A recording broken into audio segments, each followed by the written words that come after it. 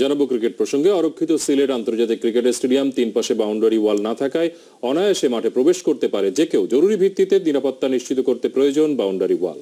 আর সমস্যাটি অবগত রয়েছে বিসিবিও।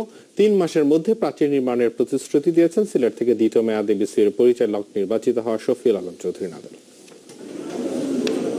মনোমুগ্ধকর পরিবেশে গড়ে ওঠা সিলেট ইন্টারন্যাশনাল ক্রিকেট স্টেডিয়ামে জমজমাট মাঠের লড়াই আর গ্যালারি ভর্তি দর্শকে বিপিএল এর শুরুটা হয়েছে অসাধারণ।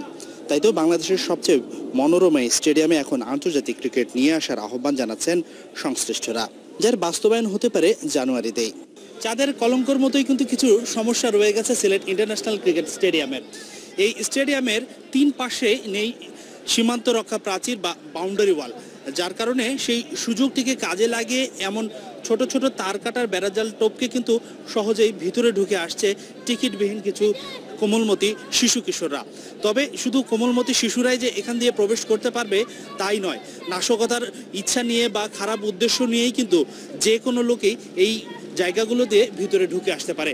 তাই তো এখানে বাউন্ডারি ওয়াল নির্মাণের দাবিটা চলেই আসছে।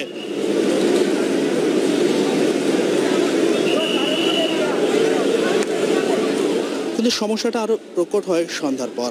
আলোক স্বল্পতাকে কাজে লাগিয়ে মঙ্গলবার সিলেট সিক্সার্স রাজশাহী কিংস ম্যাচে তৈরি হয়েছিল এমন এক অরাজক পরিস্থিতির। টিকিটবিহীন এই আগন্তুকদের সামাল দিতে হিমশিম খেয়েছে নিরাপত্তা বাহিনী। এমনকি লাঠিচার্জও করতে হয়েছে পুলিশকে। সেই সুযোগকে কাজে লাগিয়ে টাকার বিনিময়ে কিছু বহিরাগতকে ঢুকতে দিয়েছে নিরাপত্তার সাথে জড়িত কিছু অসাধু ব্যক্তি। তবে অরক্ষিত কেবল এই স্টেডিয়ামের পূর্ব পাশ নয়, পশ্চিম ও দক্ষিণ দিকও।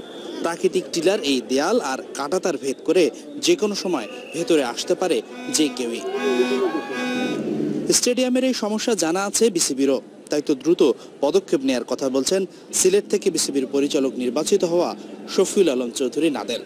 আমাদের এই সীমানা প্রাচীরগুলোর যে দুর্বলতাগুলো রয়েছে, সেগুলো যেহেতু চিহ্নিত করা হয়েছে, সেগুলো যাতে আমরা প্রয়োজনীয় সংস্কার করতে পারে। হাসিনুর রহমান যমুনা স্পোর্টস।